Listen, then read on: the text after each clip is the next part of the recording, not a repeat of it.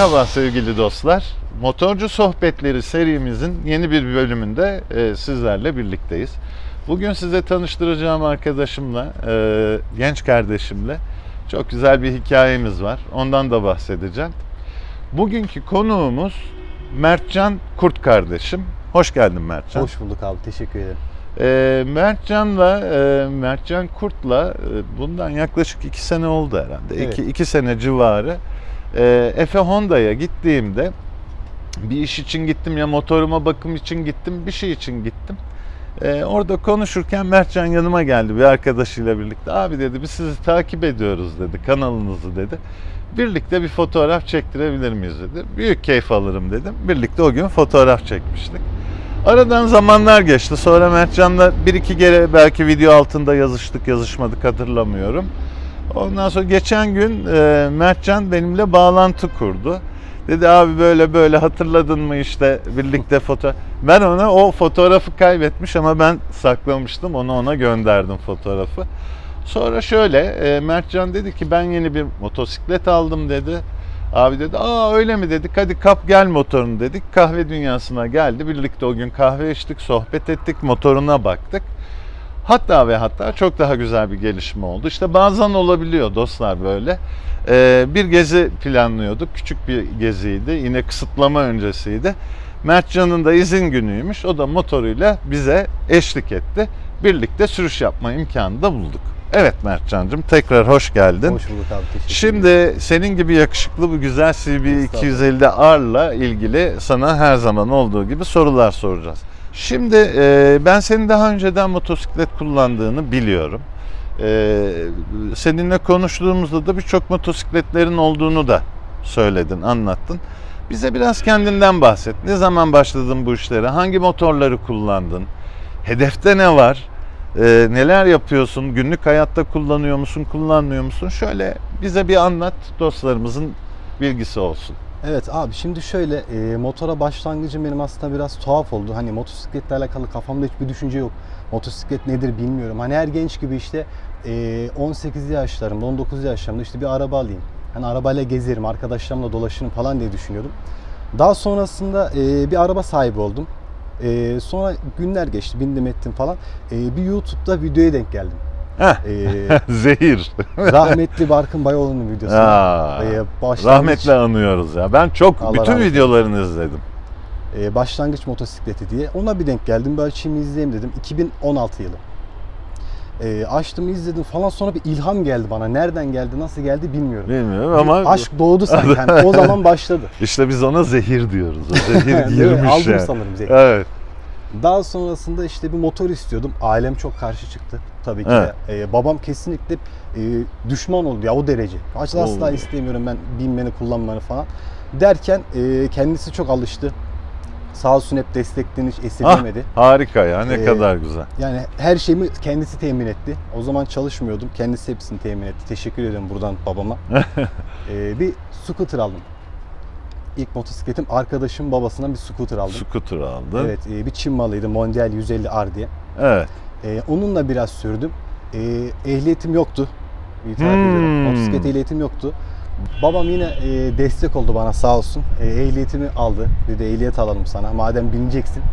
e, bir sıkıntı olmasın evraklarına ilgili. Burada bir dur bir dakika. Sevgili babanı her ne kadar tanımıyorsak da e, buradan e, Mertcan'ın babasına biz de sevgi ve saygılarımızı gönderiyoruz. Gerçekten destek ailede çok önemli. Kesinlikle. E, bu işler çünkü sıkıntılı işler. Çoğu aile e, aile fertlerinden birinin bir iki tekere binmesine çok sıcak bakmıyor. Ki baban da ilk başta karşıymış bak ama sonradan e, sana destek olarak bugünlere gelmene vesile olmuş. Peki devam Kesinlikle edelim. öyle abi. Daha sonrasında sıkıldım ben e, scooter'dan. Scooter'dan E, dedim ki biraz tarz değişikliği istiyorum. Aslında benim tarzım biraz daha bu cruiser motorlara karşı. cruiser motor Dedim seviyorsun. bir Karakal e, buldum. Karakal 200 kanuni. Kanuni'nin evet. E, o da bir Çin malıydı. Onu aldım. E, temizdi ama ona biraz bayağı bindim. Bir sene, bir buçuk sene kadar onu kullandım. Onu kullandın. Gayet memnundum. Daha sonrasında ara verdim motosiklete. E, yine kanıma işleyen bir şeyler oldu. YouTube'a her girdiğimde karşıma çıktı videolar. E, yeniden o zehri kaptım. Yani bir kere başladım. Başladın mı bu bırakılmıyor evet. e, daha sonrasında e, kendime gittim NS 200 aldım. NS 200. Evet. evet. e, o zaman şöyle söyleyeyim hiç durumum yoktu. Hmm. Buradan yine babam diyeceğim. Evet, Olsun Ee, da doğrusu neyse o. Sen genç bir kardeşimsin. Tabii Dedi ya. ki tamam ben alayım sen bana ödersin. Ödersin. Aynen öyle. Ee, onun sahibi oldum. Ee, ve NS 200 aldım sıfır. Onu kullandım bir süre. O çok kısa süre kullanmak zorunda kaldım. Daha sonrasında sattım. onu. Sattın onu. Ee, bir CBF 250 aldım eski model. Onu sattım. Bir Çin malı scooter daha aldım. Oo bayağı bir. Onu sattım. Ee, bir tane daha Zebra 100 diye bir motor var. Onu aldım. Onu da sattım. CBF 150 aldım. Onu da Güzel sattım. motor. En sonunda Bunu aldım. CB 250R geldi. Evet, Peki. aynen öyle. Şimdi burada e, birazcık ben lafı alacağım kusura bakma.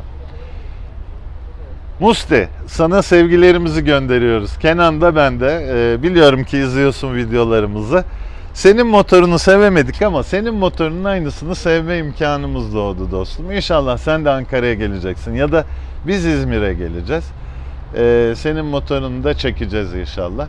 Şimdi bunu niye araya girdim? Kenan'la benim ortak dostumuz, e, uzun yıllardır bir arada olduğumuz, görüştüğümüz Mustafa diye bir kardeşimiz var. O da İzmir'de. Kenan yine kameranın arkasında tabii siz göremiyorsunuz ama orada yaralı kurt gibi geziyor her şey yolunda mı diye. E, sevgili Mustafa'ya Kenan'ın öyle huyları vardır. Sadece lezzetçiliği değil kafaya taktı mı Mustafa'ya motor aldırtmak ve ehliyet aldırtmayı kendine vazife edindi Kenan. Ve sevgili Mustafa da artık motorcu. Hatta bizden daha çok biniyor. E, Mustafa'ya da aynı motorundan olduğu için söylemeden, adından bahsetmeden geçemedim. Şimdi Mertcan, bir sürü deneyimlerin olmuş. E, Birçok marka model binmişin e, vesaire vesaire ama sonuçta Honda e, ailesinin e, oldukça çok satan, e, tercih edilen bir motosikletine sahip olmuşum. Ben bütün videolarımızda soruyorum. Hani e, bu motosikleti kullanmaya başlayalı 1000 kilometreyi geçti diye biliyorum. Hatta birlikte bir de birazdan bahsedeceğim ondan bir sürüşümüz de oldu. E, motosikletle ilgili böyle çok sevdiğin ya şurası çok güzel ya da her zaman sorarım işte ah keşke şu da olsaydı diyebileceğin hani en hoşuna giden ya birazcık da şu kısmı şöyle olsaydı diyebileceğin şeyler var mı? Bu motoru düşünen arkadaşlarımıza, kardeşlerimize fikir olması adına e, mesela ben hatırlıyorum seninle konuştuğumuzda üzerindeki lastiklerle ilgili ya keşke dediklerinin içinde olabilecek bir görüşün vardı. Bize birazcık bahseder misin? E, motorla ilgili neler düşünüyorsun? Abi şimdi şöyle e, ben kendi açımdan söylemek istiyorum. Tabii E, tabii. Ben biraz custom motor sevdiğim için e, görünüşü e, çok hoşuma gitti motor. Evet. Ve hala gidiyor. Yani şu tasarım e, Ya, retro. Modern modern bir kafe racer. Evet evet. Öyle ben bayılıyorum bu tasarıma. Yani Her şey çok hoşuma gidiyor. yani. Evet. O konuda çok güzel. E, 250 cc olması benim için iyi. Yani e, şöyle bir şey var. Ben hız sürat sevmiyorum. Tamam. E, racing motor da sevmiyorum. Öyle gazlayayım cav cav cav gideyim. Kulübe hoş geldin. Biz de öyle. Yani böyle hani ben istiyorum ki izin günümde çıkayım gezeyim. E, işime rahat gidip geleyim. Geleyim. Sen bildiğim kadarıyla motorunla işine gidip Evet, geliyorsun. her gün- her gün her gün kullanıyorsun. geliyorum. evet. Aktif olarak kullanıyorum. Mesela bana şundan bahset. Trafik içinde nasıl hissediyorsun kendini bu motorda? Trafik içi güzel. Ee, şöyle kıvrak böyle kıvrak, istediğin araç gibi. aralarından geçebiliyorsun tıkandığı zaman trafiklerde. Evet. Ee, o konuda bir sıkıntı olmuyor. Şehir içi e, güzel az yakıtı var. O konuda çok memnunum. Ne, ne civarda mesela yakıt şöyle- arkadaşlarımıza şey olsun. Abi Evet. dediğim gibi 1000 ya da 1100 kilometre kullandım. Evet. Tam olarak hani e, bilgi sahibi değilim ama ortalama ekranda gösterdiği veri 2.5 ile 2.7, 3 3.2 T- civarı trafiğin durumuna Evet, göre, evet. dur kalk trafiğe göre değişiyordur ki fevkalade ekonomik bir e, motor olduğunu söyleyebiliriz. Peki hala e, kıvraklığını beğendin. Sen bana bir konuda ilk buraya motorunla geldiğinde bir şey demiştin. Şimdi onu hatırlatacağım sana. Abi üzerinde biraz büyük kalıyorum Evet. değil mi demiştin. Şimdi o hissiyata nereden? Bu evet yapılısın boyun. Kaç boyun kaç? 1.83. 1.83. 1.83 boyunda bir insan için senin içinde öyle bir his var. Sanki sen motorun üzerinde büyük kalıyorsun öyle mi? Az evvel e, sevgili Tuğhan bindi bu motorun üstüne baktık. E, o da 1.85 boyunda. E, hiç de değil mi Kenan öyle büyük kalmadı. Yani o senin birazcık hani altındaki motorun belki biraz daha heybetli olmasını istemenden kaynaklı olabilir ama ters bir görüntü yok. Konuklarımız zaten e, seni motosikletin üzerinde görecekler birazdan. Motor sana sanki birazcık küçük geliyor gibi boyut olarak. Bunu söylüyordum. Başka aklına gelen öyle. Mesela frenleri nasıl, frenlemesi nasıl, önün ısırması nasıl, arka Abi, nasıl? Şöyle Bana e, bunlardan bahset. ABS'li motor hiç kullanmadım. Evet, ilk ilk ABS'li evet, motor. e, önde bir problem yaşamıyorum da arka taraf sanki böyle yani bana aslında biraz kötü gibi geldi. Yani zayıf tutuyor gibi geldi evet evet değil yani mi? az bir Evet. fren yapıyorum arka tarafta. Hemen tak tak tak pedal A- vuruyor. Yani ABS devreye giriyor Evet, çok evet. çabuk. çok çabuk giriyor. Onu Şş. pek sevmedim. Şimdi e, bununla ilgili e, izleyenlerimize bir şey anlatmak istiyorum. Üzerindeki lastikler Dunlop. Dunlop lastikleri ben de kullandım. Dunlop lastikli motorum vardı. Bir özelliği var. Ömrü uzun, hemen bitmiyor ama çok geç ısınıyor. Haliyle geç ısındığı zaman arka frene e, yüklendiğin zaman da çok çabuk kitlenmeye meyilli. Yani kaymaya meyilli bir hamur yapısı var. Onun için arka fren sağır gibi geliyor. Hemen ABS devreye giriyor. Ee, ön frenle genelde destekleyerek sağlıklı durmayı e, sağlamaya çalışıyor kullanıcılar. Bu benim de başıma gelmiş bir durum. Videolarda da bahsetmiştik. Sert hamurlu, e, Dunlop gibi e, lastiği olan motorlarda lastik iyi ısındıktan sonra performansını vermeye başlıyor. Ha bir de şu da var. Ee, bunu birkaç arkadaş daha söyledi. Ön frene göre arka fren birazcık sağır. Hani daha etkili olabilirdi diye görüş bildiren de var. Pekala frenleri konuştuk. Konforu nasıl? Yani giderken oturuş şeklinde seni yoruyor mu? Uzun yolda yaptık Hı o hı. gün. Nedir Ona- hissiyatın? ona Kalça ağrısı yapıyor mu? Şimdi şöyle şehir içi e, kısa mesafe. Ben 7 kilometre işe gidiyorum. 7 kilometre geri 14 geliyorum. Çok kısa. kilometre günde yol gidiyorsun. Ee, bazen işte bu, tara- bu taraflara yolumuz düşüyor. Buraya geliyorum, gidiyorum. Ee, bu civar. Hani belki 25 30 35 kilometre kadar bir sıkıntı yaşamadım. Ama sizinle o gün beraber evet. e, plansız aslında bir programdı. Evet. Dahil oldum. Buradan teşekkür ediyorum size. Estağfurullah ne Beni kabul demek ya zevkle. Estağfurullah.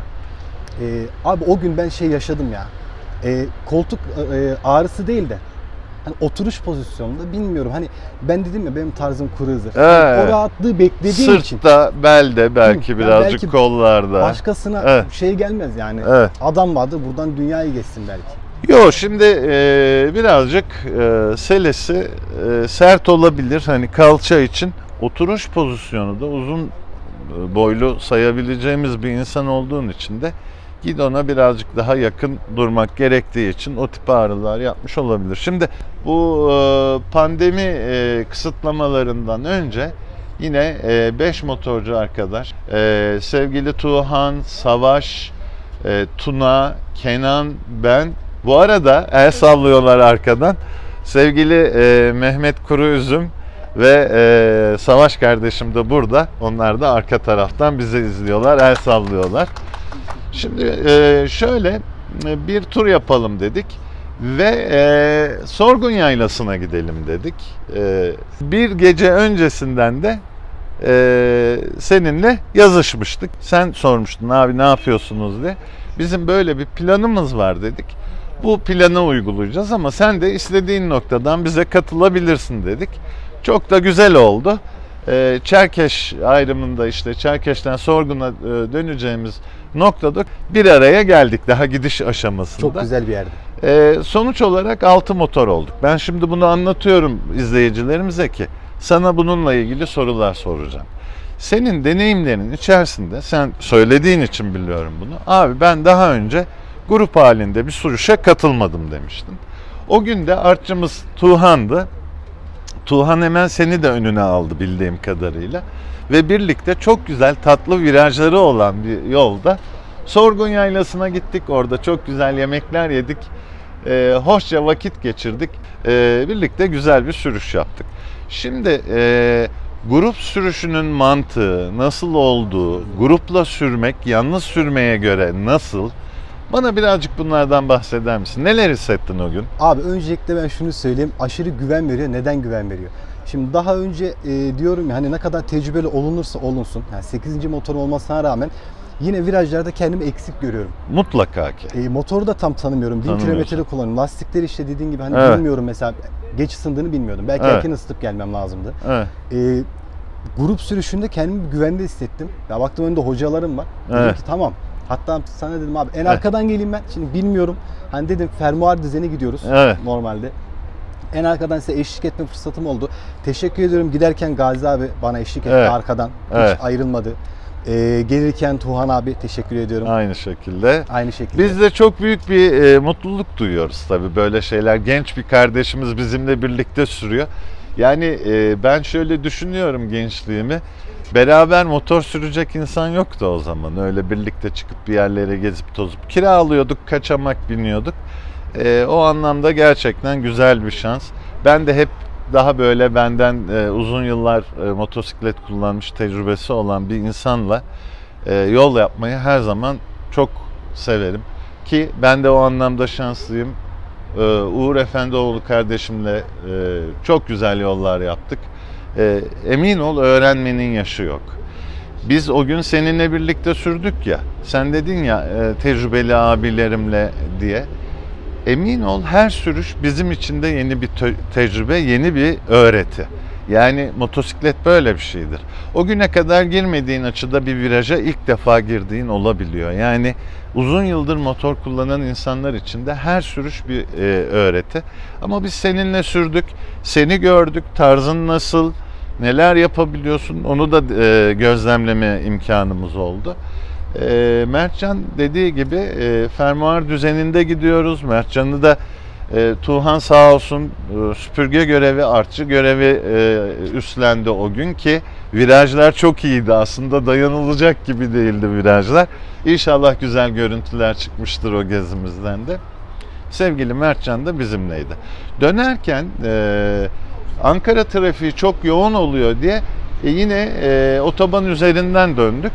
E, sen bizden belirli bir noktadan sonra Ankara'ya girişte ayrıldın. O aşamaya kadar e, motosikletinle belki de ister istemez otobana çıkınca sürat yapılıyor. Yani 60'la 80'le 90'la gidilemiyor. Birazcık daha e, temposu yüksek sürüş oluyor ki bizim sürüşümüzde de herhalde 120-140 aralığında döndük. O süratlerde nasıl buldun motorunu? Abi şimdi şöyle e, virajlar çok güzeldi. Eğlendik hep beraber. Çıktık. Yola çıkınca şunu hissettim ben. E, şehir içi gerçekten çok güzel. E, tamam 250 cc, e, 27.2 beygir diyorlar. Evet. Yani beygir de güzel. E, tamam gidiyor. Belki de benim ağırlığım, benim fiziğimden dolayı belki de ben gazlayamadım. Ya sollama yaparken hani ağır vasıta sollama yaparken bir sıkıntı yaşamıyorum da hani normalde orta şeritte en sol şeride geçmemiz gerektiği noktalar Araç, oldu. binek araç sollarken araç, tabii aynen. onlar da hızlı oluyor çünkü. Geçmek oldu. Orada biraz zorladım. Heh, Ee, bak süper. Devam et. Sol, zorladın. Orada zorladım. Yani bastım bastım sonuna kadar hani en son gerçekten söylüyorum yırtacaktım yani. Böyle gidiyorum abi. Tapa gaz yaptın öyle. diyorsun. Çünkü ezileceğim yani. Evet. Yoksa geçemeyeceğim de. Orada gidiyorum. Ee, buradan Kenan abiye de seslenmek istiyorum. Abi o nasıl gidiş ya? Abi X-Max'la var ya nasıl önden nasıl gidiyorsun ya? Şimdi Aynı blok değil mi? Ben mi yanlış biliyorum yani? Şimdi artık bir gerçeği burada açıklamamız lazım arkadaşlar. Biz Kenan'ın X-Max'ine Ferrari motoru attırdık abi. Onun için Kenan yardırıp gidebiliyor. Yok onunla hiçbir alakası yok. Kenan sadece e, motosikletiyle hep uzun yol yaptı. Şehir içi sürüşümüz bizim Kenan'la çok az. Gerçekten Kenan bir X-Max 250 için harikaları e, yarattı. Biz onunla ne yollar 10 bin kilometrenin şimdi 11 bindir belki. Bunun 1000 kilometresi şehir içi ise 10 bin kilometresi uzun yoldur. Çok güzel açıldı motoru. Ve Kenan'ın e, tarzı da artık bildiğimiz için Kenan'ın tarzını Kenan çok rahat belirli sürat aralığını yani 90 ile 130 arasını çok rahat çıkıp inebiliyor. Motosiklete öyle alıştı onun. Senin motorun daha çok taze, çok yeni. Sen de kullandıkça açılacak, daha 1700 kilometre nedir ki bir motosiklet için? Hiçbir Ya şey öyle değil. evet. E, göreceksin zamanla daha iyi gaz tepkileri alacaksın motorundan. E, o konuda canını hiç sıkma. Şeye gelelim dedik ki konuşuyorduk laf lafı açtı. Tem otobanında giderken 130'la gidiyoruz 120 ile gidiyoruz. Naked bir motor kullanıyorsun. Hani böyle kendini açıkta çok Çok. rüzgara kalmış e, Bir sağ bir sol abi bir sağ bir sol. Hani sadece böyle ağır vasıta solladığı zaman da değil. Taksi geçse bile savruluyorum. Tamam. Yani şuradan abi çok rüzgar yedim. Boyu da uzun olunca direkt göğse Bunu bunu bunu yani. sormamın sebebi kasıtlı soru bunlar. Şimdi e, naked motorların çok yani şekil, şemal, on numara çok yakışıklı. Fakat yapmanız gereken, yapmamanız gerekenler var. Yapmamanız gereken de derken sakın ha yapmayın demek değil o. Ama bir takım şeylere çok açıkta gidiyorsunuz bizim motorlarımıza göre. Bacaklarınız açıkta, yağmur yağdığı zaman gövdeniz, kaskınız direkt e, göğsünüzle rüzgarı karşılıyorsunuz. Rüzgara çok açık gidiyorsunuz yani. Haliyle ağır vasıta geçerken filan onların yan rüzgarından çok etkilenen motorlar. Evet e, Mertcan burada çok güzel söyledi. Şehir içi çok iyi. Daha düşük tempolu sürüşlerde çok iyi. Ama tempolu sürüşlerde biraz insan kendini açıkta kalmış hissediyor. Haklısın kesinlikle. Ee, sevgili Mertcan ben sana bir şey daha soracağım motosikletinin e, kullanırken böyle egzoz sesi, genel e, hali, gösterge paneli, aynalardan arkayı görüşün, e, yakıt deposunun yeterliliği, yetersizliği bunlarla ilgili söylemek istediğim bir şey var mı?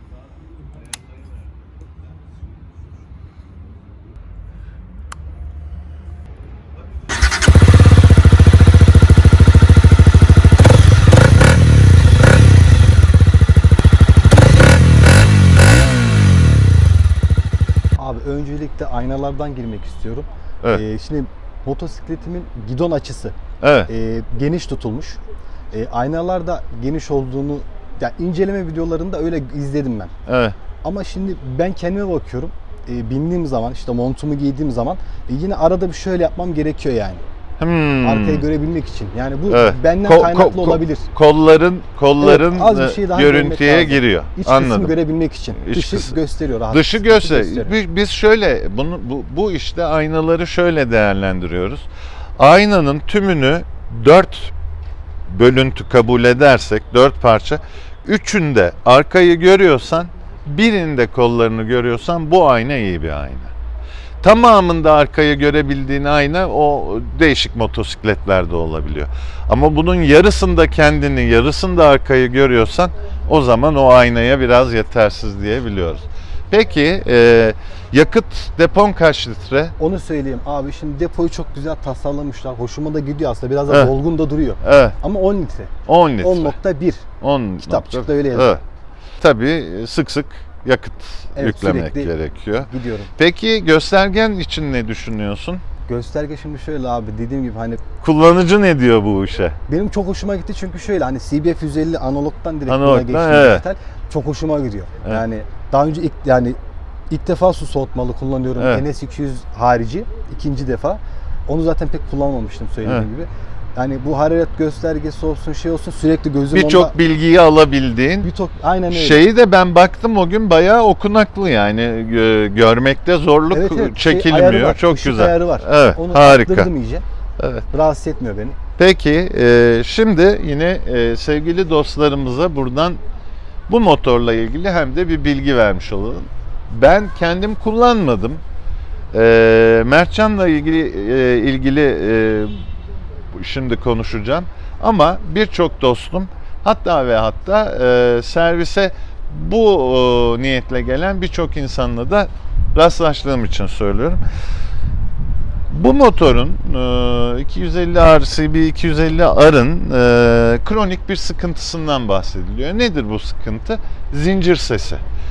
Sürücünün zincir sesini çok duyduğuyla ilgili bir e, söylem var ki sen de bu konuda Evet. e, haberdarsın ama kask takılıyken filan da öyle çok rahatsız edici bir ses olmadığını söyledin sanki Ya, bana. Duvar yanı geçerken, kaldırım yanı geçerken Bayağı şakır şakır evet. şakır geliyor. Şimdi bununla ilgili aslında bazı Honda bayileri bir güncelleme yapıyorlar. Nedir bu güncelleme? Zincirin atmasına mani olan bir e, ring var, büyük bir ring var. E, dişliden atmamasını sağlıyor. E, bunu çıkartarak bu ses kesilebiliyor aslında ama önerilen bir yöntem değil. Varsın ötsün kimseye bir zararı yok. E, vaktinde zincirledi, e, zincirinizi yağladığınız zaman ilk etapta zaten o ses kesiliyor. E, kask da var. Yolda da gidiyoruz. Motorun sesi o kadar rahatsız edici bir şey değil.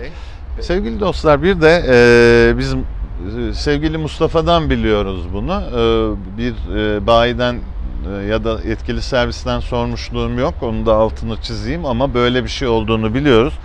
Bu motosikletlerle ilgili senin motorunla ilgili konuşacağız. Bu 2020 modelde.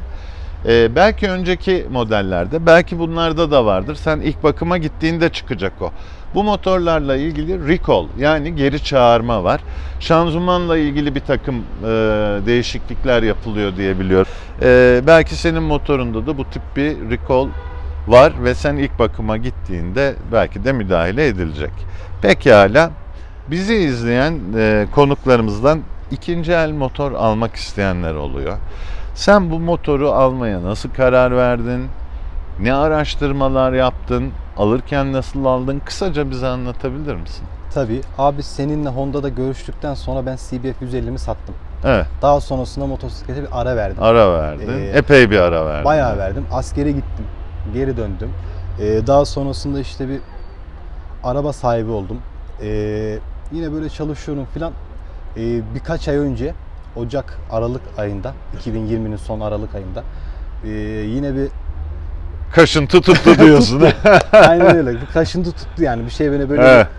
dürtüklüyor diyeyim. Karar verdim. Ne yaptın? Sahibinden kom filan Abi araştırmalar mı yaptın? şöyle e, YouTube'dan izliyorum sürekli hani bir motorum olsun istiyorum ne olursa olsun. Ha o noktaya geldin O ya. o noktaya geldim artık. Yani dedim bir şey yaptım. Ee, hiç düşünmedim. Gittim direkt krediye başvurdum. Ee, birikmiş param yoktu. Direkt krediye Evet. başvurdum. Kredi çektim. Motoru nereden buldun? Abi sahibinden de gördüm. Gece 4'te. Gece 4'te. Evet 9'da satın aldım. 9-10'da satın. İ- i- işlemi bitirdiniz. Evet bütün her şeyi Bravo. motor, motor, Bravo. sigorta hepsi dahil hepsini Pe- o saatler içerisinde hallettim. Peki bu motoru kaça aldık? Abi 41.500 41500. pazarlıkla. Ne zaman aldık dedin? Ee, Aralık. Yok Aralık'tan bakmaya başladım motosiklete. Hani aklımda vardı motosiklet. Hı hı. ben bunu Şubat gibi aldım. Şubat'ta 41500 aldık. Şu an sıfır fiyatı bunların ne civarda? 50 Şu an bilgim e, yok. 50 bini geçti. Geldi mi sıfırları yok galiba şu an. Ee, sıfır 2021 modelleri yok ama ben dün Efe'deydim. Efe Honda'da bir tane 250'lik vardı sıfır orada gördüm ama modelini bilmiyorum. Evet Mertcan, peki bu motoru aldın, biniyorsun. Motorla ilgili gelecekteki hedefin ne? Yani kendine bir hedef koydun mu? Ben bu işi şu noktaya kadar götürmek istiyorum dediğin bir nokta var mı? Şimdi abi şöyle e, Tuğhan abi benim tarzıma daha yakın hissediyorum. Hmm, Goldwing Ee, böyle tam cruiser. Biraz üst seviyede e, Evet. yine bir Harley olabilir. Iron 883 olabilir. Çok güzel motor. E, evet. Çok istiyorum Elektra Glide'ım olursa inşallah. İnşallah. Neden olmasın? Daha çok gençsin. Dur bakalım ya. Bakalım Ee, abi. Bu süreçte yeter ki e, güvenli sürüş, kendini kollayarak sürüş. Bak o gün gittik ne kadar güzel bir seyahat yaptık geldik. Hiç riskli bir hareket yok. Herkes olması gerektiği yerde. Önce öncülüğünü yapıyor. Artçı vazifesini yapıyor. Aradakiler öyle o fırt fırt gitmiyor gelmiyor bir şeyler yapmıyor. Akıcı, güvenli bir sürüş yapıp dönmek. Bizim en büyük arzumuz ve hoşlandığımız sürüş şekli de bu. Mertcan'cığım e, bugün bize eşlik ettin. E, Yakışıklı motorunu bizlere anlattın. Bizimle sohbet ettin, geldin, vakit ayırdın. Sana çok teşekkür Ben ediyoruz. teşekkür ediyorum abi. İnşallah bundan sonraki sürüşlerimizde de yine vakitimizi uydurabildiğimiz çünkü yoğun çalışıyorsun biliyorum. Zaman dilimlerinde birlikte sürmek dileğiyle diyorum. Ve sevgili dostlar dün e, motorumun 6000 bakımını yaptırmak için e, Efe Honda'ya gittim. Sağ olsunlar bu yoğun trafik içerisinde kabul ettiler. Ve gittiğimde çok enteresan bir durumla karşılaştım. Ee, biliyorsunuz birçok kanalda e, şu anda motokuryelikle ilgili e, videolar yapılıyor, işte e, özendirici videolar yapılıyor ve bayiler şu anda toplu satışlar yapıyor. Kurye motoru olmaya müsait motorlar 50'li, 100'lü, 150'li paketler halinde satılıyor. Ve e, motokuryelik pandemi nedeniyle şu an çok gündemde ve güzel kazanç sağladığı e, düşünüldüğü için de bu tip küçük scooter paket servis yapmaya ya da kuryelik yapmaya müsait motorlar deliler gibi satılıyor. Ama sadece o motorlar var. Başka hiçbir motor yok. Yani gidip de bir NC750X almak istiyorsanız, bir Afrika Twin almak istiyorsunuz veya Forza 750 almak istiyorsunuz veya CBF 500R alma CBF ne? CB 500R almak istiyorsunuz. Yok bu motorlar yok ve ne yazık ki bu sene sonuna kadar da yok. Çok üzüntü verici. Fiyatlar bir taraftan yükseliyor. Ya e, Honda'nın Dio diye bir hatırlar mısınız e, bahsetmiştik PCX videomuzda bir de öyle bir motor çıkardı diye 110 cc'lik bir motoru 21 bin lira arkadaşlar 21 bin lira ya Allah herkesin gönlüne göre versin diyorum ama ne yazık ki e, şu an bu işin çivisi çıkmış durumda e, sıraya girmiş, önceden bağlantı yapmış birçok insan gelen motorlardan motorlarını temin ediyorlar, alıyorlar, teslim alıyorlar. Bu iş şimdilik böyle yürüyor. Bizleri e, izlediğiniz için çok teşekkür ediyoruz. Lütfen kanalımıza abone değilseniz e, abone ol butonuna tıklayın. Hatta bildirimlerinizi çan resmine tıklayarak da bildirimleri açın ki yeni videolar geldiğinde e, haberdar olabilin diye. Biliyorsunuz yine katıl e, butonumuz aktif. Eğer gönlünüzden gelir katıl butonumuza katılarak bizlere destek olursanız çok seviniriz. E, yeni videolarımız gelecek. Bu pandemi sürecinde elimizden geldiğince video çekerek evde sıkılan dostlarımız hiç olmadı. Bizlerle birlikte e, yarım saat bir arada olarak hoşça vakit geçirirler diye ümit ediyoruz. En kısa zamanda e, yeniden bir arada olmak dileğiyle Mertcan'la birlikte size hoşça kalın diyoruz.